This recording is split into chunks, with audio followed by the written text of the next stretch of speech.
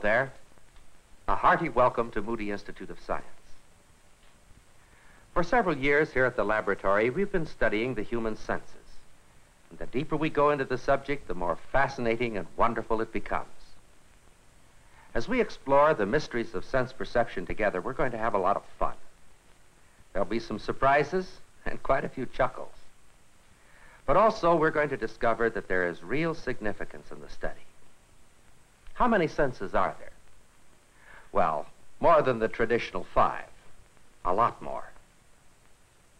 But it's not without reason that these five have been called the windows of the soul.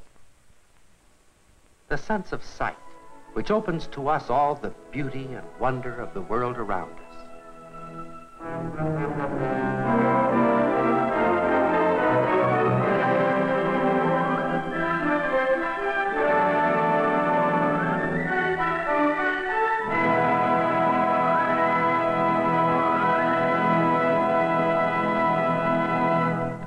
Sense of hearing and the many voices of the world.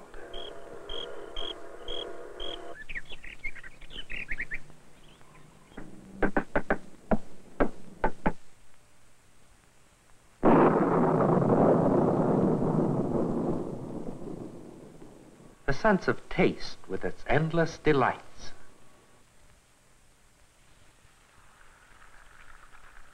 Oh, yes, and that wonderful sense of smell. The sense of touch with hands both young and old. Viewing the senses individually, we find that they are wonderful indeed. But our senses don't function independently. They operate together as a team, forming a smoothly integrated, complex electronic system. Let's watch this system work at a baseball game.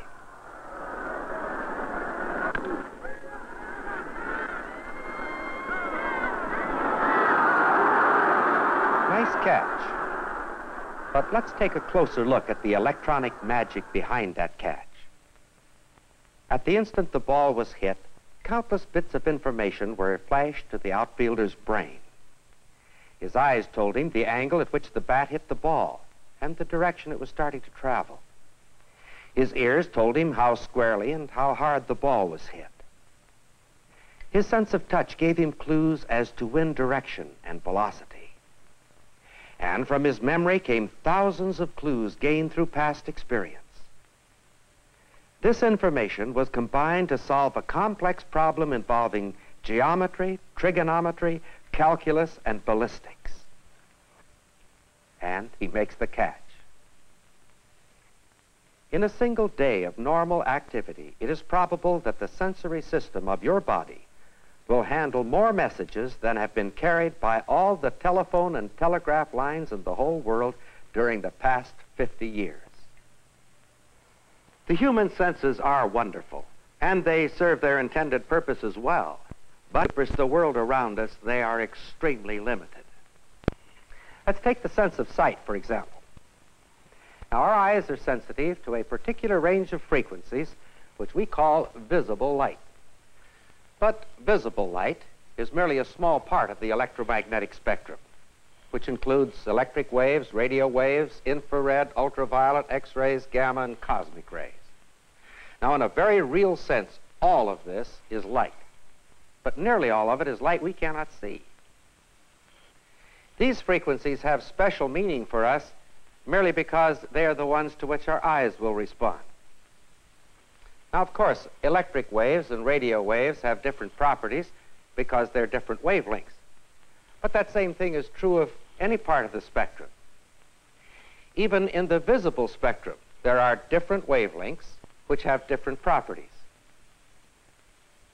In the electromagnetic spectrum, the longest waves are the electric waves, which commonly supply us with power. Electric waves are some 3,000 miles in length. But as they become shorter and vibrate faster, they gradually merge into radio waves. The longer radio waves we pick up on our standard broadcast receivers. For shorter waves, we have to use shortwave receivers, television sets. various radar systems. But as the waves become shorter and vibrate still faster, we move into the infrared section. These waves cannot be tuned in on our radio or TV sets. Instead, we tune them in on our bodies and call them heat.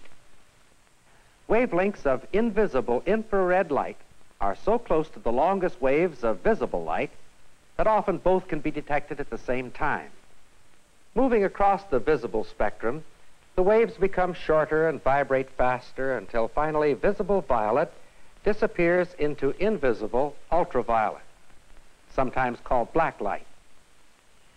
Now, ultraviolet rays are too short and vibrate too fast for the human eye to see, but there are ways we can see their effects.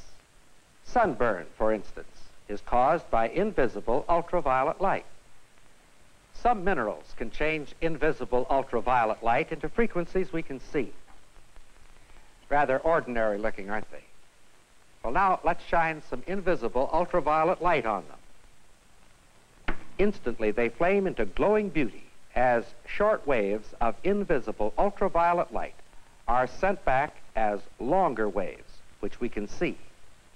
Traveling farther down the spectrum, we come to X-rays. Of course, our eyes are not sensitive to X-ray light, but photographic film is, a fact made use of every day in medical laboratories. So in reality, we who think we see so much are groping around in a world ablaze with glory and wonder and light and color, and we're almost totally blind. Now, does this mean that our sense of sight is any less amazing and wonderful than we had supposed? Not at all. It merely means that the universe around us is infinitely more wonderful than anything of which we've ever dreamed. All of us have heard someone say, I will not believe in anything that I cannot see with my own two eyes. Well, the very least that you can say about such a person is that he must have a narrow view of the world around him. Yes, our vision certainly is limited. But how about the sense of hearing? Is it also limited? Well, did you ever hear one of these?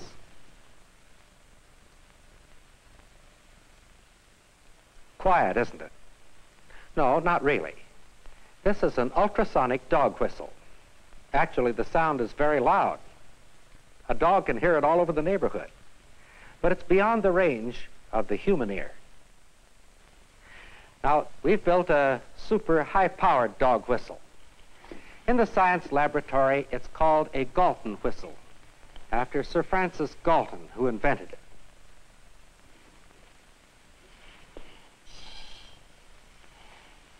The whistle is now blowing full blast. Though completely inaudible to us, it is of tremendous intensity. In fact, it is so loud that the sound can actually be used to support objects in midair. The silent sound from the whistle is bounced back and forth to form a standing wave pattern. These waves whip the air molecules into a stormy sea of violent motion except at two points in each wave. It's at these points, or nodes, that the courtships are suspended. This world of silent sound brings man face to face with a realm far beyond the narrow limits of the human senses. Now, before the molecular nature of matter was known, the sense of smell and, to a lesser degree, that of taste were almost a complete mystery. Knowledge, however, has not lessened the wonder of these so-called chemical senses. It has merely enabled us in some small degree to appreciate their wonder. Now, any substance is composed of invisible particles called molecules. These particles are in continuous movement. In some substances, the movement is so violent that particles near the surface go shooting off into the air. This is what gives a substance an odor. Dramatic proof of this may be had by uh, pouring some mercury into a dish. And then carefully sprinkling the surface of the mercury with a fine powder. Now, if we bring a substance with a strong odor close to the surface of the towel, the powder will be pushed violently away by the invisible particles coming from the substance.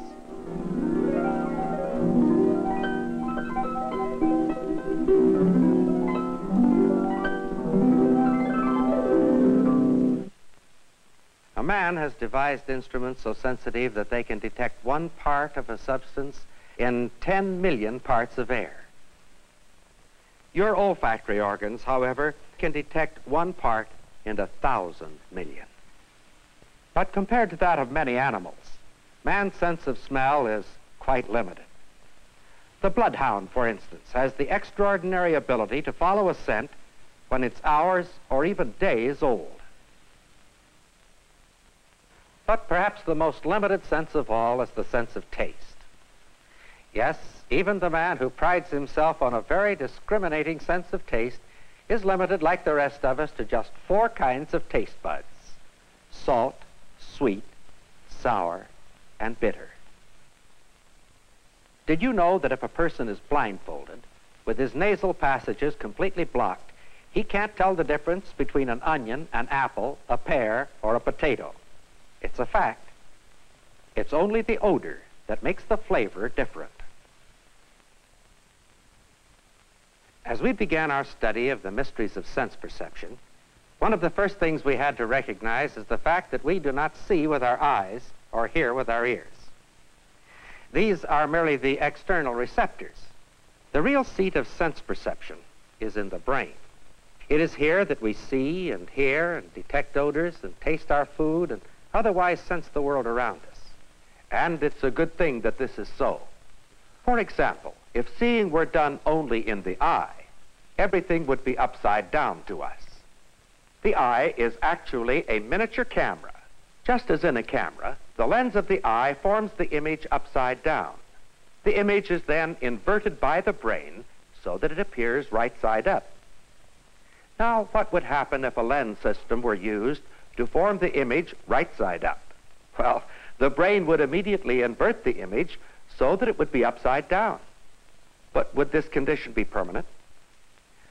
To answer this question, we asked Mr. Gratz, our optical expert, to design for us a pair of inverting spectacles. While the spectacles were being constructed in our shop, we faced the problem of who was going to wear the things continuously for several weeks. So we decided to have an election. Now, you'll want to meet our unlucky winner. That's right, me.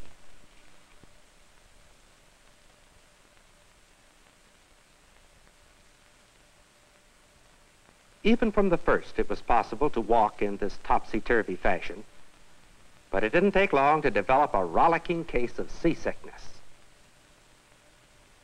We decided that for your sake as well as ours, we'd better conduct our first test sitting down.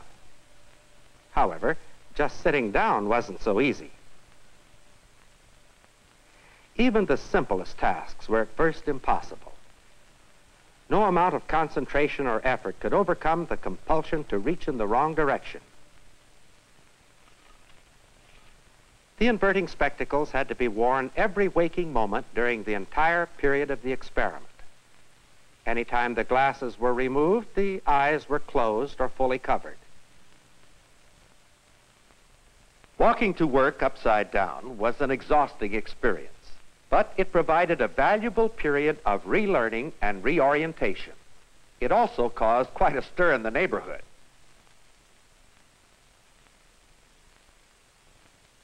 Gradually, it became easier to get around in this upside down world.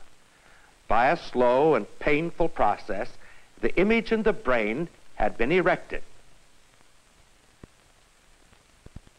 At this point, we decided to devise a convincing demonstration showing that reorientation had been achieved.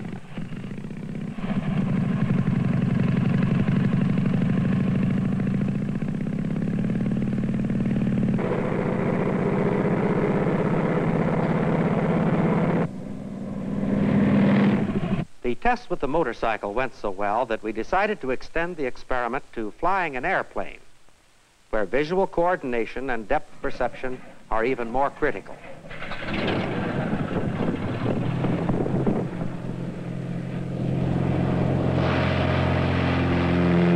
The flight lasted more than an hour, during which all normal flight maneuvers were executed.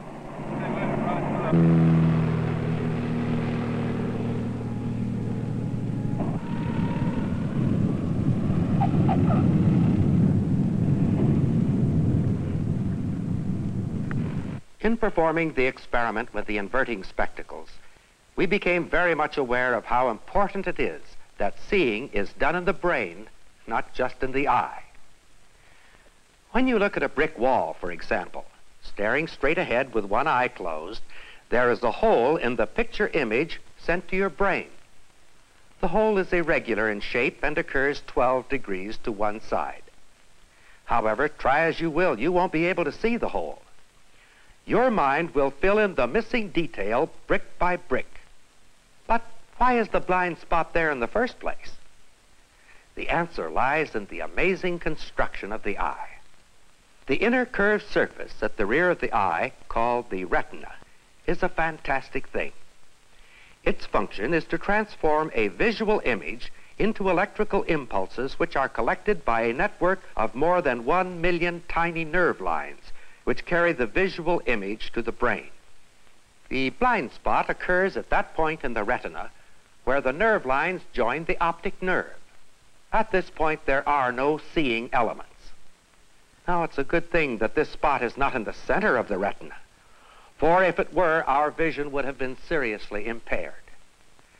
As it is, however, the hole is always there in the image sent to the brain, but the brain always fills in the hole with detail similar to that which surrounds it.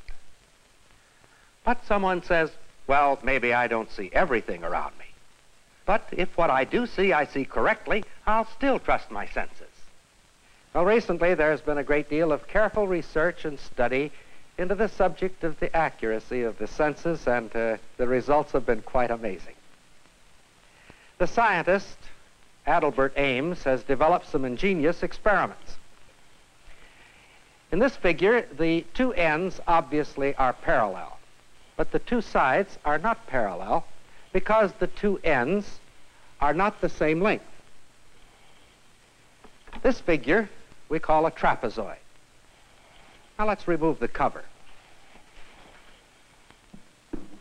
Are you a bit confused? Well, all we've done is cut some holes in the figure and painted it to look like a window frame. But maybe you say, well, you can't fool me. That's still a trapezoid. Well, it's still a trapezoid, all right.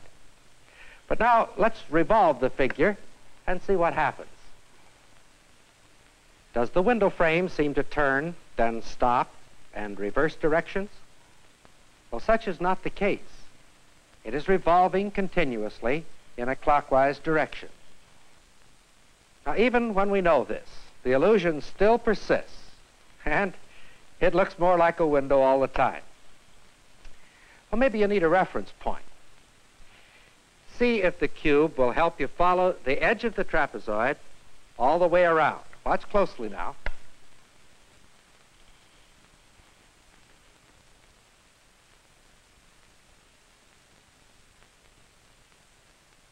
Doesn't help a bit, does it? Not only does the trapezoid still oscillate back and forth, but the cube actually seems to take off and go floating through space. Now, it doesn't, of course. Actually, the cube has been firmly attached to the edge of the figure all the time. Now, an iron bar should make a good solid reference point. Let's see what happens now when we rotate the window.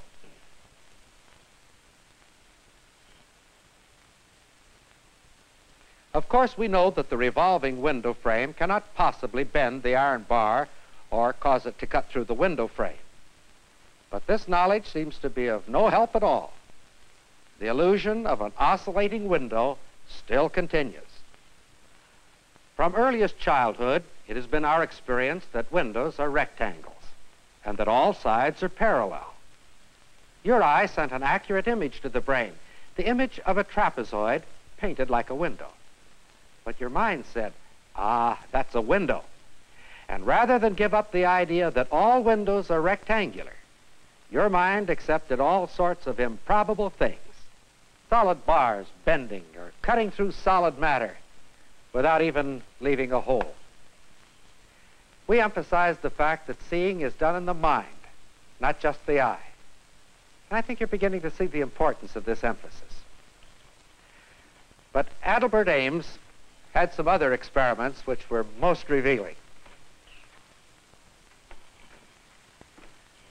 Now, as I step into this room, it should be quite obvious that something is wrong, but can you figure out what it is?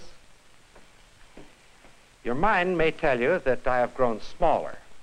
Of course, you know that that really isn't true. Your eyes, however, are telling you the truth. They're telling you that the floor is tilted up, that the ceiling is tilted down, that the walls are badly distorted, that the windows would be almost impossible to make drapes for them. Yes, your eye is telling you all this, but your mind simply refuses to believe it. But maybe this will help. Imagine all of this without benefit of vitamins. But it also works the other way, too. Now, if you'll just step back a bit, you'll see the real cause of the trouble. It's quite obvious at this distance, isn't it? sloping floor, tilted ceiling, distorted walls. But uh, since you understand this, you shouldn't have a bit of trouble from now on, should you? Or should you? In this house, faces at the window seem to come in assorted sizes, don't they? But uh, there's nothing wrong with the faces. It's those windows and what they're doing to your brain, remember? A small one and a tall one. Let's see if we can even things out a bit.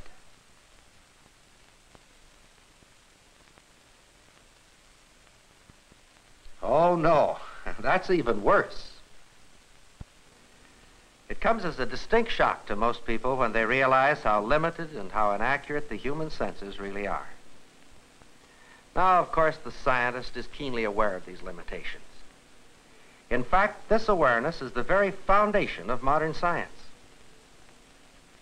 Before the age of science, man had no real concept of an orderly universe governed by unchanging law. He proudly built his theories and philosophies on the meager scraps of information coming from his limited and inaccurate senses. This was a time when alchemists mixed their magic potions, when astrologers tried to predict the future, when phrenologists measured bumps on the head to gauge a man's intelligence. But about 300 years ago, the picture began to change. The age of science was born when man quit trusting his senses and developed instruments to overcome their limitations. Today, man knows that the physical world is governed by universal and unchanging law that has been operating since time began. Man knows that there is rich reward for strict, detailed obedience to physical law, and also a stern penalty for disobedience. He knows that sincerity and good intentions are not enough. Now, this attitude in the scientific realm is relatively new, but it certainly has paid off. As soon as man adopted this attitude, there was a sharp upturn literally an explosion in scientific progress. And yet, with all the potential for good, this scientific development has brought man face to face with the greatest crisis in human history.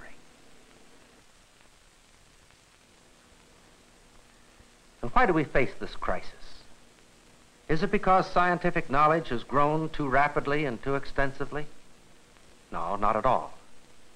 Obviously, scientific advancement must continue. It would be both foolish and dangerous to lag behind.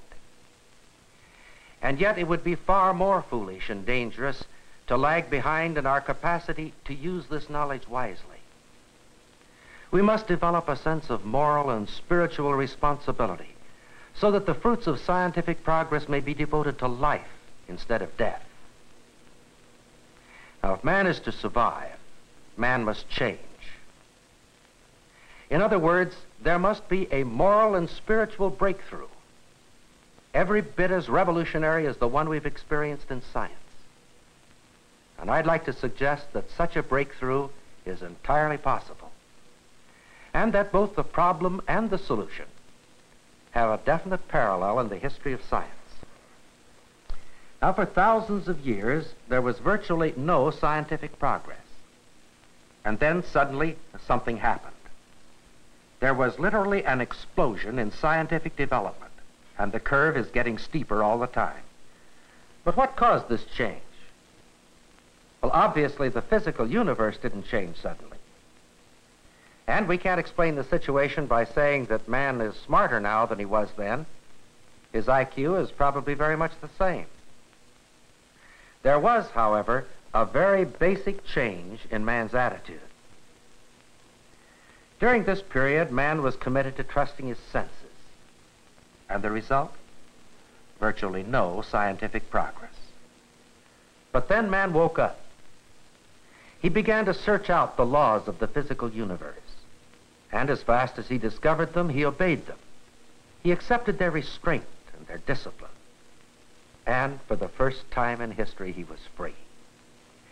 Free from bondage to ignorance and superstition and unworkable philosophies and theories. And the result? An explosive progress. But how about the moral and spiritual realm? In this realm, man seems to feel that there are no absolute values and no fixed laws, so once again he is committed to trusting himself, his own ideas, his own theories and philosophies. And what's the result? Virtually no progress. Now, judging from our experience in the scientific world, it would seem that once again we're on the wrong track.